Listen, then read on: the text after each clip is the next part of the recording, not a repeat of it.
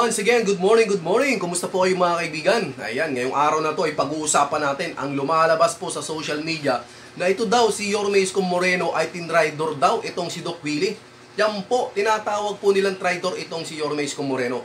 Bakit po ba ito nangyari mga kababayan? Dahil nga po mga kababayan, itong grupo po natin ng United Bangsamoro Justice Party mga kababayan ay inendorso po nila ang isa, Isko at Sara mga kababayan doon po sa Mindanao. At alam naman natin mga kababayan na ang boto sa Mindanao mga kababayan ay solid po yan dahil yung mga kapatid nating Muslim, mga kababayan ko, ay patuloy no, na sumusuporta dito po kay Yorme Isko Moreno. Yung pong kanilang suporta ay binigay nila kay Isko. Dahil si Isko po ang nakikita nila na maipagpapatuloy kung anong batas mayroon doon sa barn, mga kababayan alam na po mga kababayan, alam na ng mga kapatid nating Muslim. At ganun, itong mga ano natin, kalaban sa politika ay sinasabihan nga, traidor. Traidor dahil ba, ano, hindi kayo ang pinili ng mga kapatid naming Muslim? Ganun ba? O hindi nyo matanggap na kayo ang pinili na dapat sana BBM Sara? Dapat ba ganun ang gusto nyong mangyari? So, nung hindi kayo pinili at Isko at Sara ang pinili ng ating mga kapatid na Muslim, tinawag nyo ng traidor. Katulad dati, ano, na sinasabi nyo na trinaidor ni Mayor Isko, itong si Mayor Lim, at si Mayor Erap ng Maynila, mga kababayan, inuulit po natin, ang katapatan po ni Yorme Isko Moreno ay nasa mga tao. At yan po ang nakita ng mga kapatid nating Muslim, mga kababayan, kung gaano kaganda ang plataforma de gobyerno ng isang Isko Moreno. At may mga lumalabas din ano, na na heart, na heart daw ito si Doc Willie. Subalit mga kababayan, yung kanyang statement na yun, eh, one month nang nakalipas, na binalikan pa nila para lamang may maitira, may maipakita na merong uh, gulo dito sa atin ano, na nagkakaroon ng traiduran. Hindi po ugali na aksyon demokratiko ng partido po na ating Yorme Isko Moreno, mga kababayan. Wala pong traiduran nagaganap sa loob ng ating partido.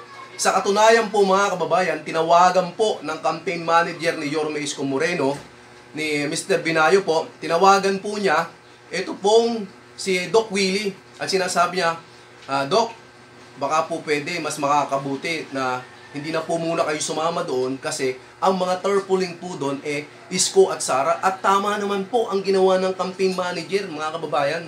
Tama po yun. As campaign manager, sasabihin mo, ibig sabihin, sa loob ng ating partido, kita, may pagkakaisa tayo. Hindi tayo watak-watak, hindi tayo katulad nito, hindi tayo katulad nila. So mga kababayan, ano, at may karapatan po yung mga tao kung sino yung kanilang i-endorsong kandidato. Katulad nga po na nangyari, Isko at Sara. Karapatan po nila yun at dapat yung igalang kung kayo ang hindi pinili. Anong gusto nyong i-endorso ng mga ano, kapatid nating Muslim? BBM at Sara na gusto nyo pumabor sa inyo? Mali po yun, mga kababayan. Hayaan nyo silang magdesisyon. Hayaan nyo silang magdesisyon dahil nakikita nila dito sa dalawang batang mayor nito na to ang mga potensyal na makakapagpatuloy po ng magandang nasimula ng Pangulong Duterte. Itong dalawang mayor na to. Yan po mga kababayan. At isa pa, hindi po ba si BBM, no? Noong 2015, sinusuyo siya dito sa Bangsamoro na to. Eh, hindi niya nga po pinirmahan ano, na hindi daw po nag exist So, ano na ngayon?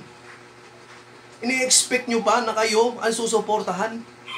Kaya naman nagsiselos kayo, at sa pagsiselos nyo yan, binaligtad nyo pa. Ginawa nyo pang traidor itong si Isko. Subalit mga kababayan ko, okay lang kay Doc Willie. At nagpapasalamat pa siya dito po kay Yorme Isko Moreno dahil siya ay pinagtiwalaan maging Vice President ni Yorme. At ito po mga kababayan, may video po tayo, panoorin po natin.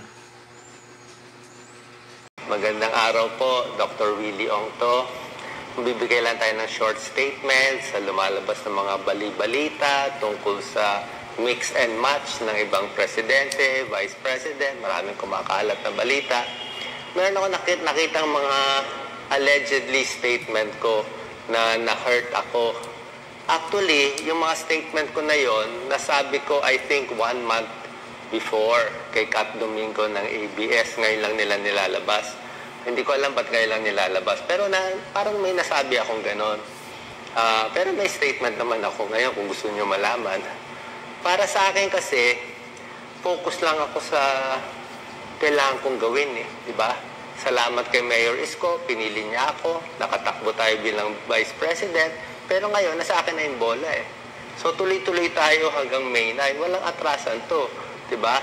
Salamat sa mga followers ko, salamat sa mga statement of support, wala naman magbabago eh, tuloy-tuloy tayo, ay on the ball ako eh. Kailangan ko manalo kasi kailangan ko maibigay yung tulong sa mahihirap, sa gamutan, sa pagkain, ba? Sabi nga ni Brother Mike Velarde ng El Shaddai eh, piliin yung tunay na nagmamahal sa iyo.